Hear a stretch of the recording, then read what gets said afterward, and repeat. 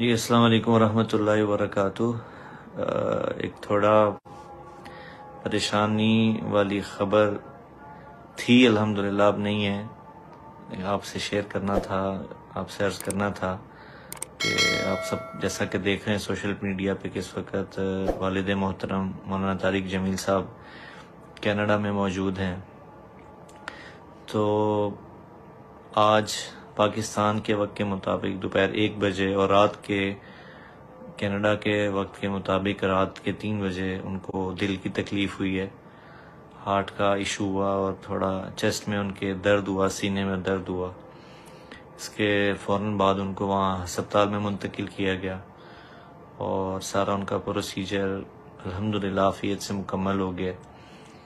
तो इस वक्त अल्हम्दुलिल्लाह वो बिल्कुल ठीक हैं, स्टेबल हैं, लेकिन अभी तक हॉस्पिटल में तो आप हजरात की खिदमत में आने का सिर्फ़ मकसद ये है कि आप दुआ करें, चूँकि आपको पता है, एक, अपने घर से दूर होना, फैमिली से दूर होना, हम लोग यहाँ हैं, वो वहाँ हैं तो यकीन ये थोड़ा परेशानी का बायस है। लेकिन अल्हम्दुलिल्लाह अल्लाह का करम है कि वो स्टेबल हैं। तो मीडिया पे आपको पता है मुख्तलिफ़ अफवाहें फैल जाती हैं सोशल मीडिया पे, ख़ास तौर पे।